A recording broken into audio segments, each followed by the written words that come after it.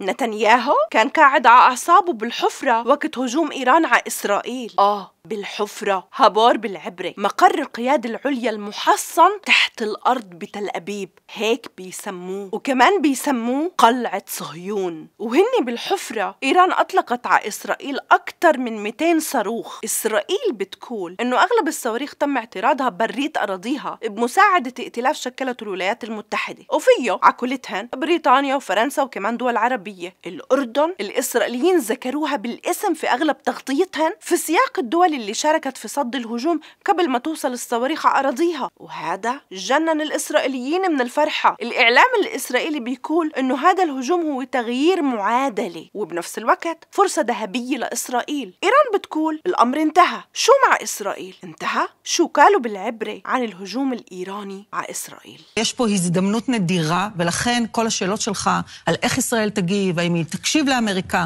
יש פה קואליציה שאנחנו חלק ממנה, והיא תבוא לידי ביטוי גם במועצת האו"ם, וישראל אסור לה מבחינה אסטרטגית להחמיץ את ההזדמנות הזאת, שחזרנו להיות הקורבן ומהטובים. אלה שמתקיפים אותם, ואלה שפתאום מה שהחמאס עשה, שוב חזר לקונטקסט. וזה הקונטקסט. איראן וציר הרשע, זה הקונטקסט.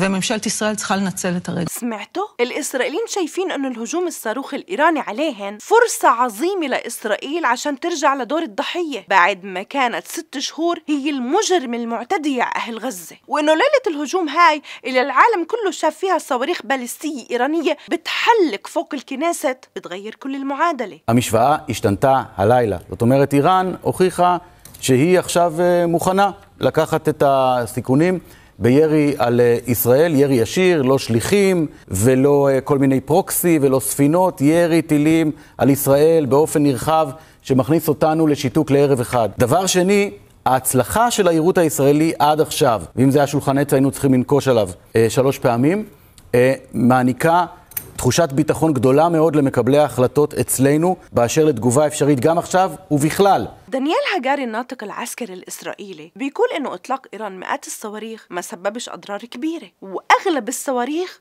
تم إسقاطها قبل ما توصل على إسرائيل مثل الصاروخ اللي أسقط في الرمثة في الأردن وشظيات سببت في حريق بس النجاح في صد الهجوم ما أنجزتش إسرائيل لحالها كان في جنبها ائتلاف قادة الولايات المتحدة وشارك فيه دول مثل بريطانيا وفرنسا والأردن عكولتهن بحسب قناة كان الإسرائيلية سلاح الجو لدول سنية أخرى على مين قصدهن ما بنعرف انتوا بتعرفوا אמריקנים שפיזרו כל מיני מערכות אה, מכ"מים ומערכות גילוי ומערכות יירוט ומטוסים אה, ירדנים וחילות אה, אוויר כאן אה, במזרח התיכון של המדינות הסוניות, בלי ספק לילה של אה, שינוי אסטרטגי במזרח התיכון, אחרי מתקפה כל כך חריפה של איראן, נטולת פרופורציות, לילה חסר תקדים כשמד... כשמדינה תוקפת אותנו, לא באמצעות השלוחים שלה, אלא המדינה עצמה, איראן. مشهد للتاريخ إيران لأول مرة بتاريخها تضرب إسرائيل من أراضيها وإسرائيل قاعدة تتحضر لهيك أمر جلل من سنين انتوا عارفين إنه واحدة من الصور اللي طلعت للحفرة تحت الأرض الجيش الإسرائيلي كان معلق على الحيط توقيت نيويورك ولندن وتوقيت القاهرة كهير بالعبرة وتوقيت طهران البعبع الكبير بيعتبروها وأكيد شفتوا الفزع اللي سببوا الهجوم للإسرائيليين هذا الهجوم تجهزوا له كتير بس بالنسبة لإسرائيل مشاركة دول عربية في صد الهجوم هو الإنجاز الأكبر في هديك الليلة זה, זה לא רק חשוב הנזק שנמנע פה, אלא זה חשוב כמובן שאתה מביא מדינות ערביות לפעול למען ישראל נגד נגד איראן בערב כזה, כשאיראן יוצאת, זה דבר שהוא מטורף, יש לו השפעות בדברים, בתחומים שאי אפשר אפילו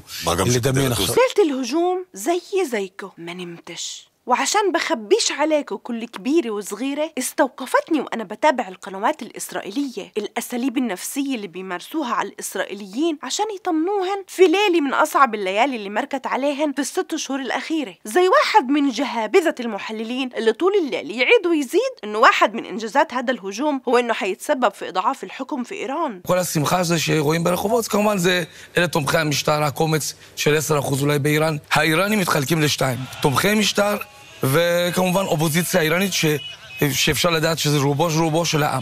הם מאוד מאוד רוצים שיהיה עימות בין אמריקה לאיראן, השרשרת תגובות, יה- זה יחליש את המשטר באיראן. ואז סיכוי שיהיה מהפכה הרבה יותר גדול.